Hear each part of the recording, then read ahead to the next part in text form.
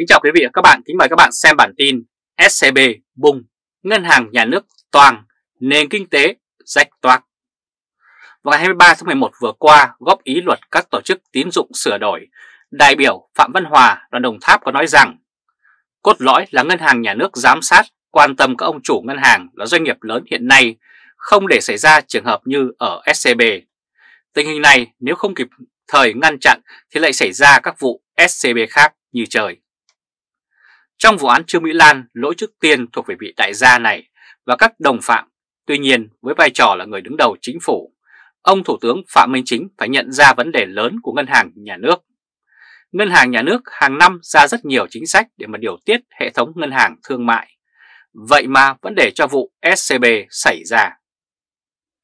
Không chỉ SCB mà còn nhiều SCB khác nữa chưa bể. Nếu bà Trương Mỹ Lan dùng SCB để hốt tiền bá tánh được, thì người khác cũng sẽ làm được. Vấn đề là Đảng Cộng sản Việt Nam có dám làm đến nơi, đến chốn hay không mà thôi. Theo một nguồn tin riêng cho Thời báo chấm biết rằng SCB của bà Trương Mỹ Lan không thực hiện hành vi lừa đảo một mình, mà còn có hai ngân hàng khác hỗ trợ. Trong hai ngân hàng này, một ngân hàng thuộc sở hữu của một đại gia bất động sản nổi tiếng. Đại gia này cũng từng bị báo chí nhắc tên vì có dính đến vụ Vạn Thịnh Phát nhưng không hiểu sao, sau đó báo chí lại im lặng. Còn ngân hàng thứ hai là của một đại gia Đông Âu. Vấn đề nhức nhối của ngành ngân hàng hiện nay là hiện tượng sở hữu chéo. Sở hữu chéo là việc đồng thời hai doanh nghiệp có chủ sở hữu phần góp vốn, cổ phần của nhau. Việc sở hữu chéo nếu ở mức độ đơn vị này kiểm soát đơn vị kia thì có thể tạo ra doanh thu giả, lợi nhuận giả hay chuyển cổ phần giữa các thành viên trong công ty. Trong lĩnh vực tài chính ngân hàng, sở hữu chéo khiến cho ngân hàng hoặc doanh nghiệp này chỉ đạo ngân hàng kia cho vay dưới chuẩn, gây thiệt hại cho các cổ đông thiểu số hay thiệt hại cho chính ngân hàng bị chỉ đạo. Khi một ngân hàng gặp khó khăn thì các cổ đông sở hữu chéo lập tức rút êm, để lại hậu quả cho nhà nước và người dân phải gánh chịu món nợ khổng lồ. Nhà nước vì không dám để cho thị trường tài chính xáo trộn, sợ sẽ gây ra phản ứng dây chuyền nên buộc phải giải cứu, mà hậu quả sau cùng là người đóng thuế phải nai lưng ra nộp tiền. Nói chung, việc sở hữu chéo dù là giữa ngân hàng với ngân hàng hay giữa ngân hàng và doanh nghiệp thì việc cơ bản cũng giống nhau. Ngân hàng bị thao túng, bị chỉ đạo để làm lợi cho thành phần nắm quyền kiểm soát. Vấn đề sở hữu chéo ở ngân hàng, Thống đốc Nguyễn Thị Hồng khó tránh khỏi. Đề cập đến vấn đề này, đại biểu Quốc hội Trịnh Xuân An của đoàn Nai nói rằng qua các vụ SCB và thực trạng hiện nay cho thấy có 3 vấn đề là sở hữu chéo, chi phối, thao túng tổ chức tín dụng đang tạo nên những rủi ro cấp bách cần phải nhận diện và xử lý triệt để. Tôi cho rằng sở hữu chéo, chi phí và thao túng ngân hàng là các thủ thuật rất tinh vi và thường là vô hình. Tuy nhiên, đối với đối tượng vô hình và thường xuyên biến đổi này ta lại dùng các công cụ như luật đang thiết kế như giảm tỷ lệ sở hữu cổ phần, giảm hạn mức cấp tiến dụng và mở rộng đối tượng không được đảm nhiệm chức vụ vân vân. Tức là ta đang lấy cái hữu hình để mà trị cái vô hình. Theo tôi là không hiệu quả. Ông An đã nói như thế. Trả lời chất vấn trước Quốc hội mới đây, bà Nguyễn Thị Hồng, Thống đốc Ngân hàng Nhà nước đã tìm cách chạy tội cho mình. Bà nói rằng quy định tỷ lệ chủ sở hữu của cá nhân là 5% nhưng nếu cổ đông cố tình nhờ người khác đứng tên thì rất khó để xử lý. Bà Hồng cho biết rằng trên thực tế khó có thể xử lý triệt để tình trạng sở hữu chéo, chi phối ngân hàng. Sự yếu kém trong điều hành của ông Phạm Minh Chính đang khiến nền kinh tế bị rách toạc Vấn đề sở hữu chéo là rất nguy hiểm. Tuy nhiên ở các nước trên thế giới kiểm soát được thì tại sao Việt Nam lại thả nổi đến như thế? Đã là tội phạm thì ở đâu cũng có những thủ đoạn tương tự, đặc biệt là loại tội phạm có trình độ. Tại sao các nước hạn chế được, còn ngân hàng nhà nước Việt Nam thì chỉ biết than khó. Điều này cho thấy bà Hồng cùng với bộ máy do bà điều khiển không có năng lực. Với lãnh đạo thế này thì nền kinh tế Việt Nam không rách toác mới là lạ. Quý vị và các bạn vừa theo dõi chương trình truyền hình trực tiếp của Thời báo chấm với bản tin SCB bùng, ngân hàng nhà nước toang, nền kinh tế rách toạc. Quý vị và các bạn hãy chia sẻ video này cho nhiều người biết và bấm nút theo dõi YouTube và Facebook của Thời báo .de để luôn được cập nhật những bản tin mới nhất nhanh nhất và trung thực nhất. Từ Berlin, Cộng hòa Liên bang Đức, chào các bạn và hẹn gặp lại các bạn vào bản tin lần tới. Trung Khoa, Thời báo, chấm đề. Kính chào quý vị và các bạn, kính mời các bạn xem bản tin Tổng liệu việc như thần, tạo nơi an toàn cho quan tham vụ Vạn Thịnh Phát.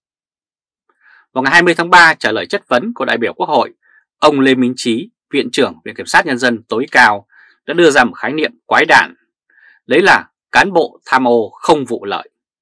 Và ông này đề nghị giảm phạt tù, tăng phạt tiền với người đứng đầu có sai phạm nhưng không có mục đích vụ lợi. Đã tham nhũng mà không vụ lợi, khái niệm chỉ có người cộng sản mới nghĩ ra cho được. Đã tham ô mà còn không vụ lợi, một khái niệm mâu thuẫn như vậy mà ông này cũng nghĩ ra. Nhiều người đã bật cười vì khái niệm này tưởng rằng ông ta làm trò hề trước quốc hội vì không thể nghĩ ra điều gì có giá trị thực tiễn nên nói nhăng nói cuội như thế. Tuy nhiên, những gì xảy ra sau đó mới thấy phát biểu của ông Lê Minh Trí là có dụng ý, chứ không phải ông nghĩ bệnh và nói xàm như nhiều người vẫn tưởng. Đầu tiên là vụ Việt Á vào ngày 17 tháng 8 vừa qua, tại một cuộc họp báo, ông Nguyễn Văn Yên, Phó Ban Nội chính Trung ương cho biết, chùm vụ án Việt Á xảy ra trong bối cảnh đại dịch.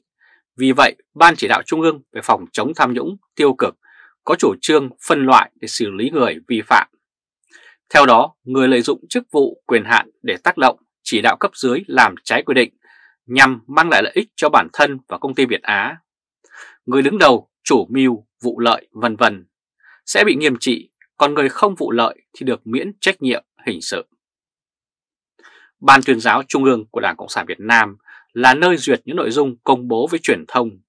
Theo quyết định của Trung ương Đảng, nếu ông Yên đã nói như thế thì xem như là đó là quyết định của Bộ Chính trị.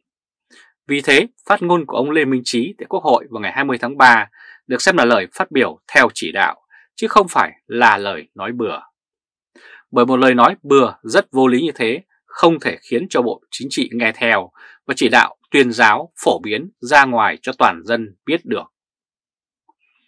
Áp dụng cho vụ Việt Á Ông Nguyễn Phú Trọng đã từng hô hào rằng chống tham nhũng không có vùng cấm. Tuy nhiên, việc giật dây cho ông Lê Minh Trí trình bày ý là tham ô không vụ lợi được xem như đã xác định một vùng cấm. Ai được liệt vào dạng tham ô không vụ lợi thì sẽ được an toàn. Hiện nay khi vụ án Vạn Thịnh Phát đang nóng thì Ban tuyên giáo Trung ương lại cho ông Nguyễn Văn Yên, Phó Ban Nội chính Trung ương lên báo nói rằng số tiền nhận hối lộ trong vụ án Vạn Thịnh Phát là lớn nhất từ trước tới nay. Người nhận tiền trong vụ án Vạn Thịnh Phát và ngân hàng SCB nhưng không có thỏa thuận hoặc không đòi hỏi sẽ không bị xử lý hình sự mà chỉ bị kỷ luật đảng xử lý hành chính.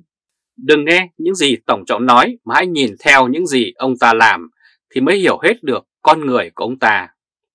Ở tầng cao của chính trị, ông Nguyễn Phú Trọng tham nhũng quyền lực vô đối. Ông lạm quyền để đặt cách cho mình tới hai lần hưởng suất đặc biệt để ngồi lại chiếc ghế Tổng Bí Thư dù đã quá tuổi quy định. Đồng thời phá bỏ giới hạn hai nhiệm kỳ để tự trao cho mình nhiệm vụ thứ ba và rất có thể sẽ là nhiệm kỳ thứ tư tiếp theo. Và áp dụng cho vụ SCB.